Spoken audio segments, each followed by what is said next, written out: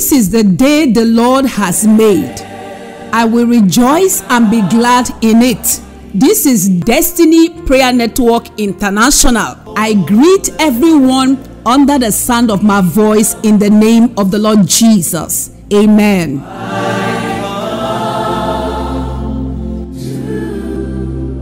By the grace of God, this morning our prayers will be taken from the book of Luke, chapter 12, verse 7. Luke, chapter 12, verse 7. But the very hairs of your head are all numbered. Fear not, therefore, ye are of more value than many sparrows. Hallelujah. Very reassuring verse of scripture this morning. I'm so excited, Father. Thank you. Child of God, that's the word for you this morning. The hairs on your head, they are numbered. You are more important than the birds flying everywhere. You are more important Father, I thank you. Yes, God, thank you so much for caring for me. I give you praise. Let's say, Lord, thank you for another privilege to come before you in the place of prayer. God is aware, He knows them. Thank you, Lord Jesus. I give you praise. Holy Spirit of God, I welcome you this morning. Help us to pray and to pray in line with the Word of God, in line with His will for our destinies. In Jesus' name, Amen. Father, Lord, thank you for making me more valuable than everything you have created created. Hallelujah. Thank you for making me this valuable. I refuse the lie of the devil telling me you don't care about me. He cares about me. I'm so glad that my Father in heaven cares about me. Father, I thank you this morning for making me more valuable than everything you created. I give you praise in Jesus' name. Amen. Any hand anointed to shift me out of my God ordained position be exposed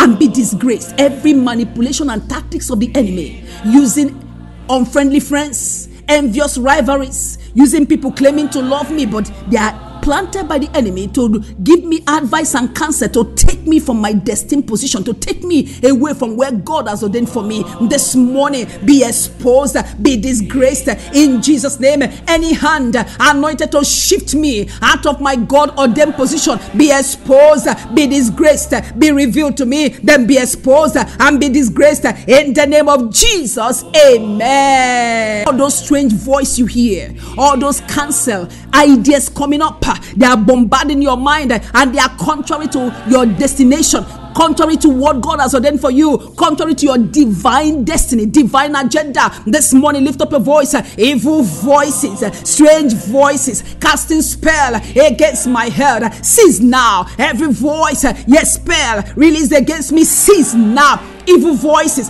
casting spell against my mind, in my thought, in my head. Cease now by fire. Let there be peace and calmness upon that head in the name of Jesus. Amen. The Lord will speak to you and you will hear him in accents clear and loud.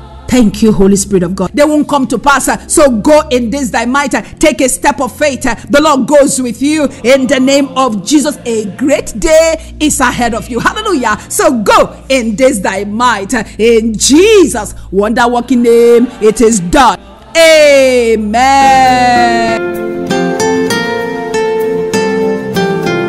Thank you for joining in this prayer today. The Lord bless you richly in Jesus' name. Kindly share the link with your friends and loved ones. Please share the link and connect other people through prayers as you share the link. The Lord bless you in Jesus' name.